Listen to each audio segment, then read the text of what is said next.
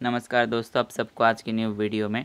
आज की इस वीडियो में इस कंपनी का शेयर प्राइस के बारे में डिस्कस करने वाला हूँ। क्या कुछ अगला सिक्स मार्च के दिन स्टॉक पे देखने को मिल सकता है तो वीडियो को एंड तक देखना। मैं इसका एनालाइज एनालाइज जो कर रहा होगा वो देख सकते हो डेली चार्ट पे कर रहा हूँ।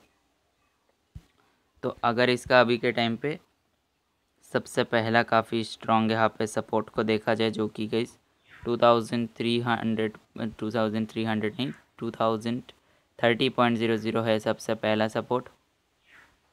नेक्स्ट देखें नेक्स्ट सपोर्ट इसका one thousand nine hundred sixty four point fifty पे है।